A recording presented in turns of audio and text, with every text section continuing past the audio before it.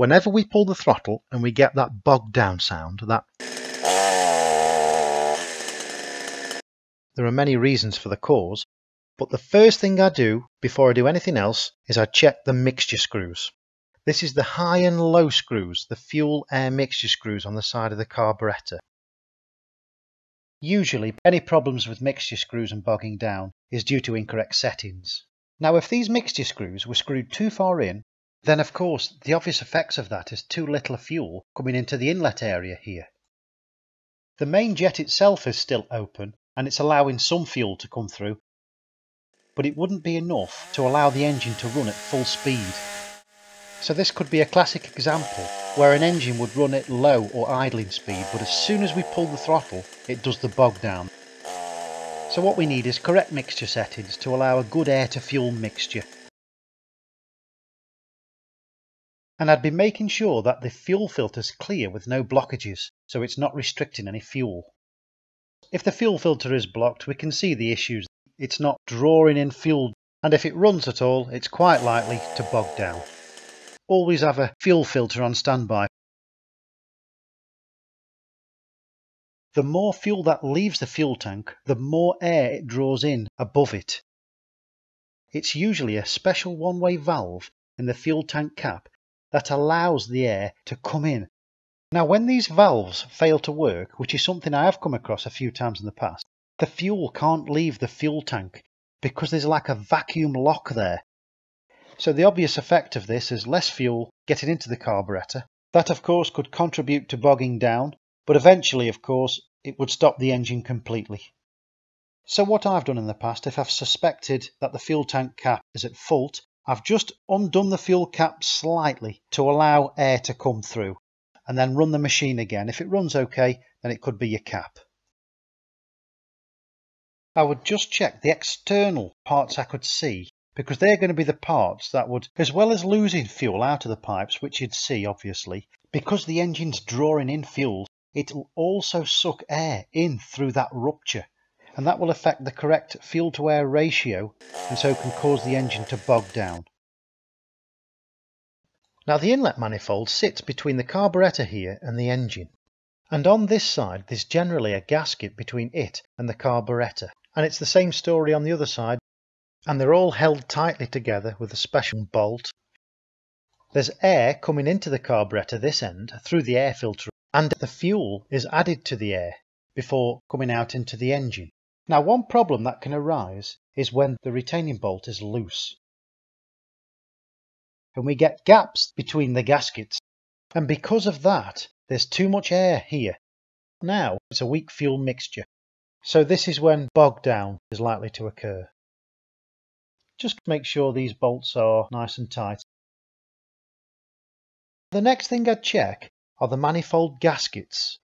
If this gasket's damaged, then air can be drawn in once again.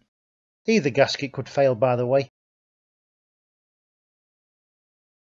The manifolds sometimes themselves can be damaged and draw in air. And the problems of that are the same as what we've already seen. What can happen is, is that cap can become loose. Now if this happens, there'll be excess fuel spilling out. But what will also be happening is, air will be drawn in. And again, We've got a fuel to air ratio here that's weak in fuel. So at this point, the engine would most likely bog down. But the fuel pump diaphragm itself can also cause problems with bogging down. When these diaphragms do age, or they're made from a substandard material, they go stiff and rigid. And of course, when the diaphragm goes rigid, so does the valve, because that's part of the diaphragm. Another area is this area here. This is the actual fuel pump area of the fuel pump diaphragm and it relies on a good range of movement up and down to allow for good pumping action. So when this area ages and becomes more rigid, it reduces the pumping efficiency of the fuel. So now we're left with a restriction of flow of fuel going through the carburetor and then bog down. The only remedy really is to replace this diaphragm. We've got some dirt here that's come out of the fuel tank and somehow come past the fuel filter. A tiny piece of debris can block it. So this area is now blocked, but the engine's still wanting fuel. Now we've got a problem, a lack of fuel going into the engine. The engine would have bogged down and stopped. If you do suspect this kind of blockage, then the best thing to do is strip down the carburetor and blow down the fuel veins with an airline. A common thing nowadays is to use an ultrasonic cleaner that can loosen the dirt first. We can even get a blockage here at this point, and in my experience, this is one of the more common areas for blockages. This is a metal gauze strainer filter that the fuel passes through, and it's the buildup of particles that cause this blockage but these can be easily replaced. And now we've got a main jet blockage, and as you can see there, there's no fuel coming out of the main jet at all. The other two jets, the high and low jet, can't compensate for the main jet, which is where the main of the fuel comes from. So this amount of fuel is totally insufficient to support the workings of an engine, and the engine would bog down and stop. Now let's have a look at blockages in the high jet.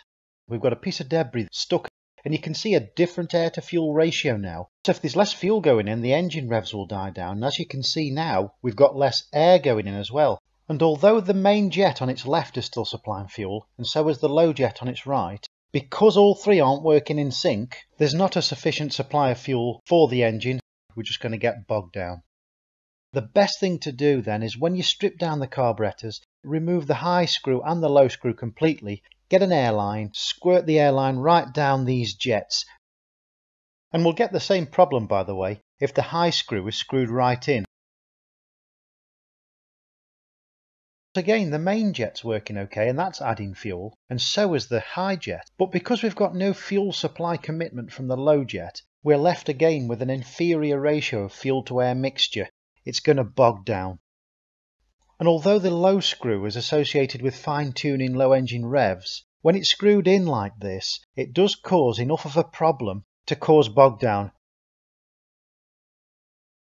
The metering diaphragm, shown here in green, is responsible for regulating the correct amount of fuel coming into the inlet area of the carburetor. And when fuel is used out of the fuel reservoir beneath it, it draws the diaphragm down and the metering needle's lifted off its seat, and fuel can freely enter the metering area at the top. One issue I've come across in the past are these screws, slightly loose, and it can just break that seal. What you'll probably notice if there's a gap there, you'll see fuel spilling out. But at the same time, there'll be air being drawn into the carburetor. Because we're drawing in air, we've actually lost the vacuum there, and it's the vacuum that we need in order for the metering diaphragm to be drawn down. So all that will happen now is the metering needle will stay fast on its seat. It won't allow any fuel coming upward, so we'll have bog down. Just make sure these screws are nice and tight. Another problem, however, we can be faced with is problems with the diaphragm itself. This diaphragm's made from special material to allow it to move up and down nice and freely, covering a good distance. Sometimes these can become less flexible and more rigid, and that's normally due to age. And the problem with it being more rigid is that the diaphragm can no longer have the same range of motion. It's not moving up and down as far as it did. Now, we're not opening the valve as much as we did. There's not going to be the same amount of fuel available in the inlet. Eventually, there's just going to be bogged down. Now, another problem that can occur, and certainly one I've had in the past with these metering diaphragms, is with this area here. This is the plunger that's part of the diaphragm or the dowel that activates the metering lever. So let's take these two diaphragms for example. They both look identical from the outset. They're exactly the same size, the same thickness, and they have the same holes as each other, and so to the untrained eye, you'd think they were identical and you'd fit either to your machine. But there is a difference. This is that plunger. The one on the left hand side is longer than the one on the right hand side, and it's vital we choose the right one. And that's because when the engine's running and the diaphragms come down to allow fuel to come out, we need that plunger to travel down just enough in order to push down on the back of that metering lever just enough so that it tilts that lever up just enough in order to open up that needle valve at the front just enough for the correct flow. Okay, now we've got the shorter plunger. And now when everything's working and the diaphragm comes down, it doesn't push down as much on the back of that metering lever. And that means the front under the needle valve isn't open quite as much, allowing as much flow through. And unfortunately, it's something that's overlooked. Just make sure that this diaphragm is identical in every way to the one you're taking off. Because the lever itself is made of metal, the back of this lever can be set so that the metal can be bent in order to adjust the back of this lever. And sometimes this can be set too low. If that's the case, then this is what happens. It's a similar scenario to having a short plunger.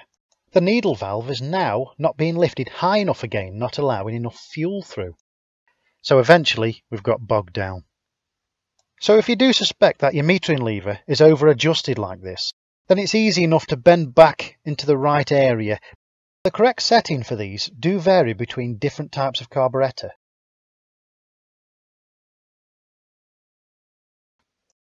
So here's the metering spring, and the trouble we normally have with metering springs are when we replace them. I have fitted springs that look identical to the one I've taken out, but they're a little stronger. Take a look at this scenario for example. The diaphragm has come down to the back of the lever and because that spring is too hard it won't push the back of the lever down and what we're ending up with is this the diaphragm's moving up and down but we're not getting movement here on this needle valve to allow fuel to come up through and be sufficient enough to run the engine.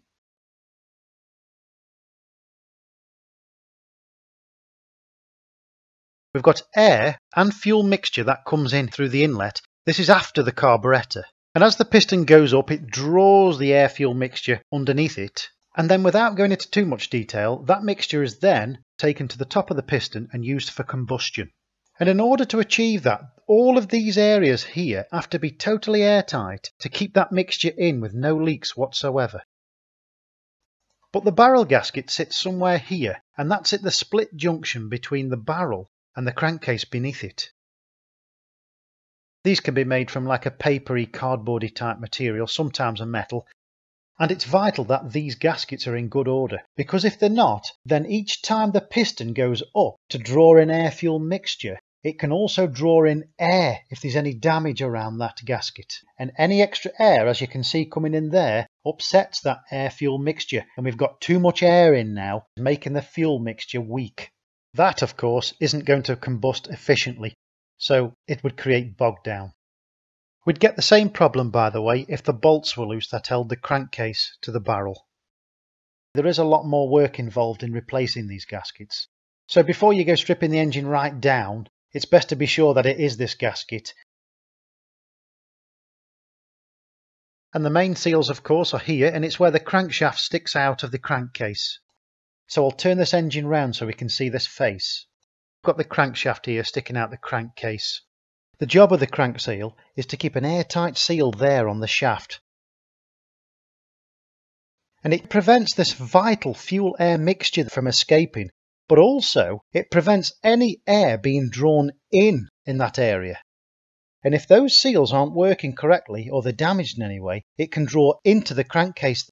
We know what that's going to do. There's going to end up being too much air there to fuel it will lead to bog down. And I have found this particular issue a little more common in the past. I've had this quite a few times. To diagnose and be sure if you suspect crank seals are leaking is to use a pressure tester.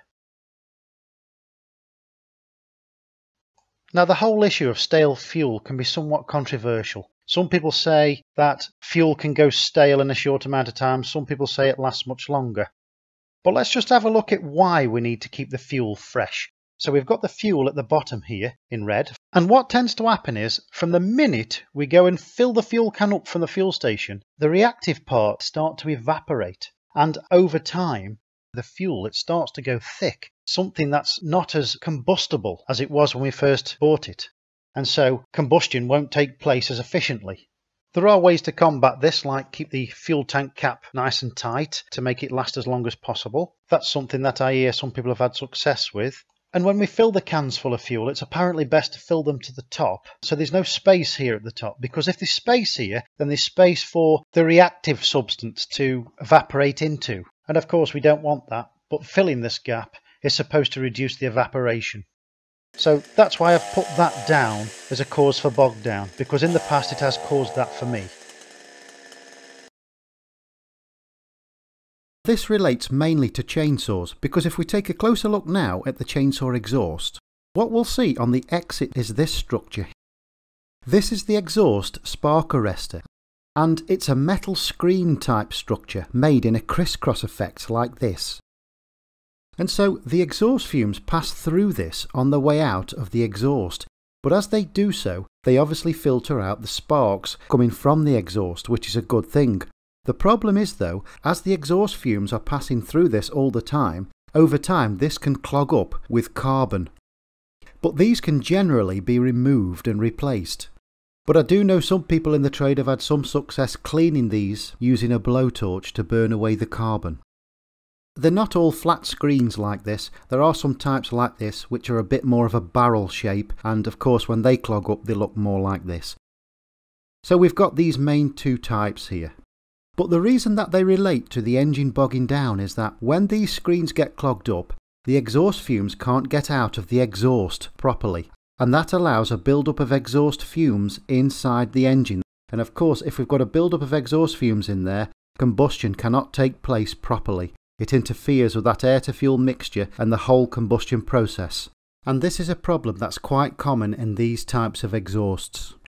I really hope you've benefited from this video and you feel like you've learnt something.